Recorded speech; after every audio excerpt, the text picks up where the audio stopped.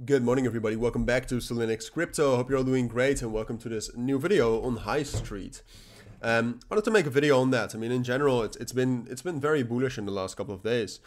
Um, it's also been uncorrelated to the rest of the market, so I just wanted to um, just wanted to give you my thoughts on what's going on and also give you a little bit of a little bit of a warning. All right, uh, because High Street has been very bullish and it's a it's it's a re, it's it's a real project. All right, but the thing is and that's also something you can see historically. High Street historically is a bit of a manipulated coin, right? If you, for example, look in December, uh, but also right here at the beginning of March, or right here at the the real beginning of March, some of these were market moves, all right? So so moves where High Street just uh, followed the market and dropped down together with that. But some of these other moves were were not that, all right? And just in general, High Street can actually have some big crashes and the moves it, it gets very often are a bit manipulated. All right, you can also see if you look at where the volume is coming from, most of the volume is coming from exchanges which I would not trust, like UEE, 4E, X Markets, Bithumb, OrangeX. So just be careful, all right, because there is some manipulation going on with this.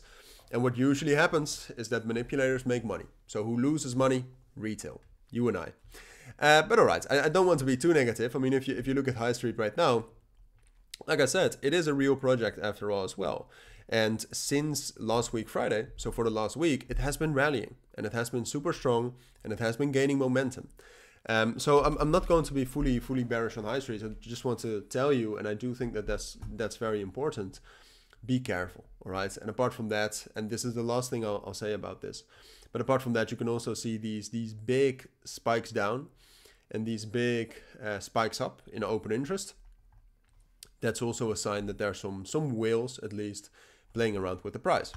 But all right, if we look at the current situation, what we are at is this major resistance level at 3.7. If you historically look at that level, that's quite a strong level. You can see especially right here between 3.5 and let's say 3.75 right here is a major resistance level, and that's the level we're trying to break above. So the main question is, is can we break above that?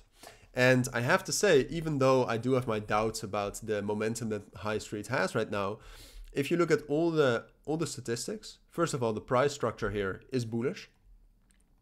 Um, the the overall for the the formation that it's that it's forming is also bullish. So what I mean with that is that usually when you make a top with a crypto and the price drops down, we consolidate and then we get bullish again and we reach that top again, usually we go higher, all right?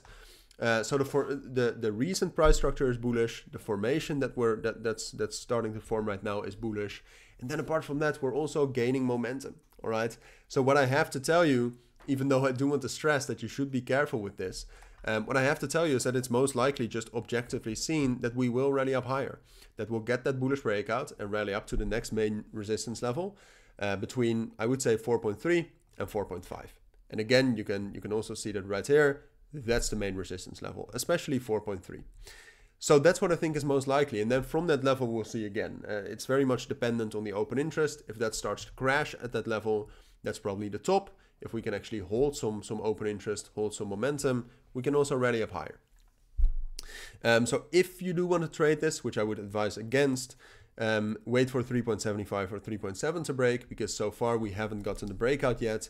And in general, be careful for that crash, all right? Because eventually what's going to happen is that we're going to crash by like, well, 30, 20, 30, 40% at least. Um, so be careful for that. But like I said, right now, purely objectively, still looks great. So those are my thoughts. That's what I think you need to know. If you do have any questions, let me know down in the comments. But for now, thank you for watching. Take care and bye.